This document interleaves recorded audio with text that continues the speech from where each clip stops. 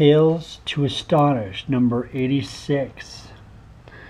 Picked this up at the comic book shop. They don't carry Tales to Astonish that much, but it was stuck out in a, a different section than it usually was, and it's uh, pretty good condition, except for that the bag seems to have some weird bending to it, so I may have to change this out. It's not really affecting the comic book, but I thought it was part of the comic book, but it's not. I, at least I think it's not. Seems like it got left in some kind of damp area. Uh, I'm going to take a look at it a little later. Let's see what condition it's really in. So, I mean, um, it looks okay, you know. Sometimes you'll find red ink splotches because of the printing on the sides, and that degrades the comic just as well. Uh, I think it's just a comic book bag.